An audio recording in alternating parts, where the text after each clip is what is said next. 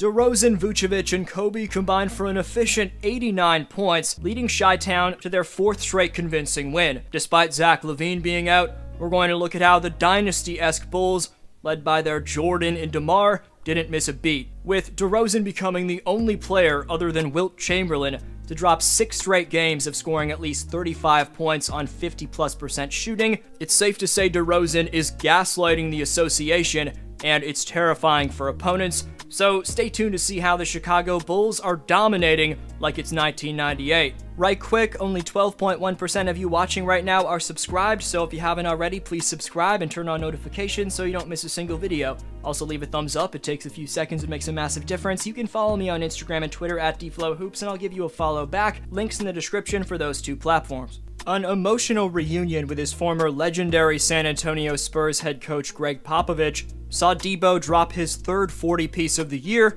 and the 16th 40 point game of his DeMarvelous NBA career. Along with matching Wilt Chamberlain in the stat I mentioned during the intro, DeMar became the first Chicago Bulls player since Michael Jordan to record six straight 35 plus point outings. Lost in the shuffle amidst that historically great scoring is how DeRozan's letting the game come to him by setting up his teammates. Through nine games in February, the Compton born five time All Star is averaging six assists per game, whether it's kicking it out from the post after being triple teamed, or laying nifty offhanded behind the back passes to the trailer, it's those double D dime droppings which force defenses to play DeMar for the pass, opening up the floor for wide open patented pull up jumpers like this one right here.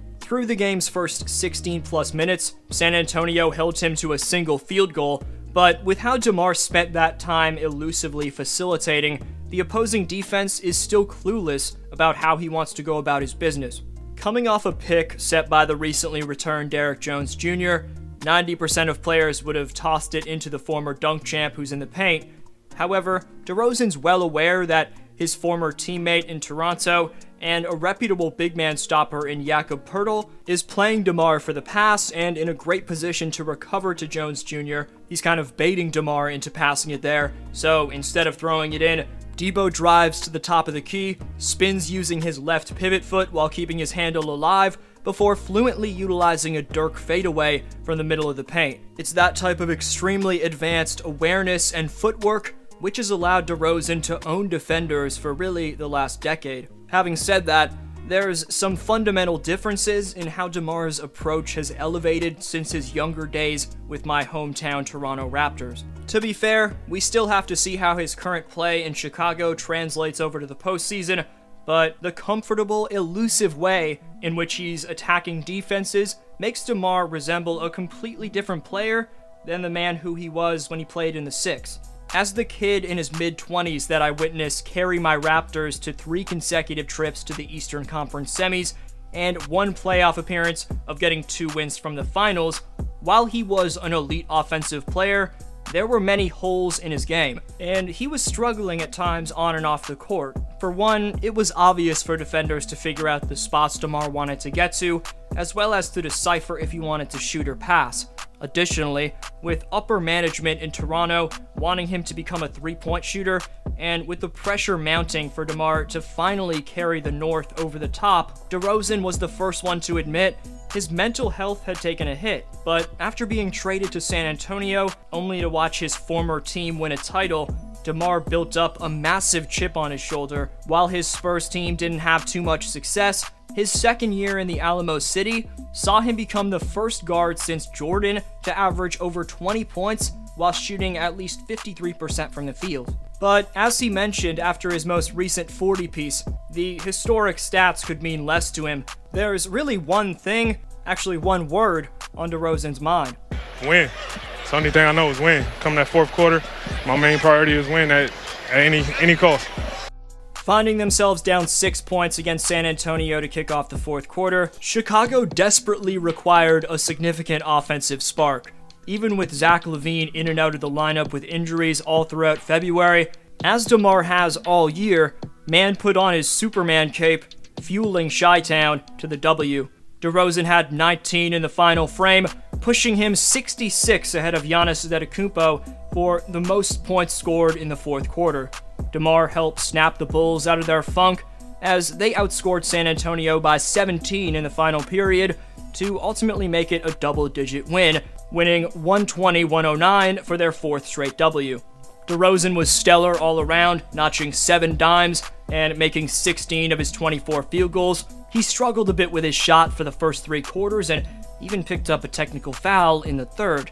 But once the fourth kicked off, Man turned into an automatic bucket getter, easily getting to his spots, and no matter how many Spurs were in his vicinity, the NBA's fourth leading scorer carried the Bulls with superstar esque execution. It was yet another showing which put Chi Town shooting guard in the upper echelon of all time Bulls players. Nikola Vucevic notched another double double of 25 points and 16 rebounds as he continues his recent stretch of great offensive production. Man did struggle a bit from three point land, shooting just one of seven, but was efficient when it came to shooting in the paint and off post ups. Vooch continues to impress after his early season troubles. He looks like a completely different player now in terms of his confidence, and with Zach LaVine out, the Bulls need this version of Vucevic to keep going.